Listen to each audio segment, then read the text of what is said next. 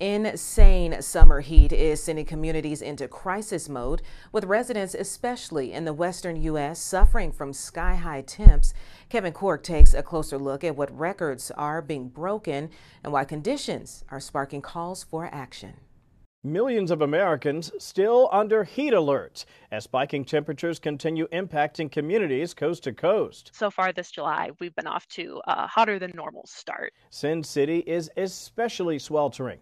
On Wednesday, Las Vegas sizzled through a record breaking fifth consecutive day of temperatures of 115 degrees or more.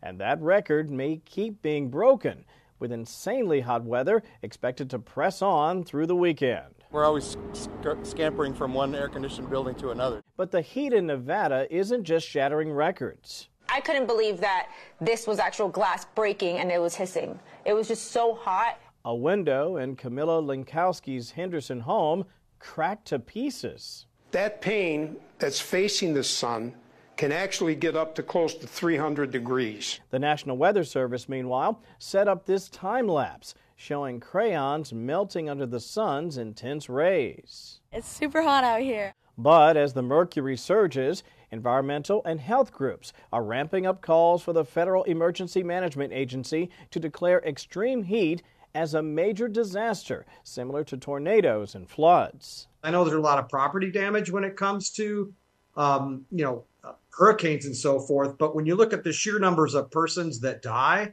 from heat, it's off the charts. If that were to happen, funds from FEMA could be used by local governments to pay for emergency response efforts like cooling centers and more.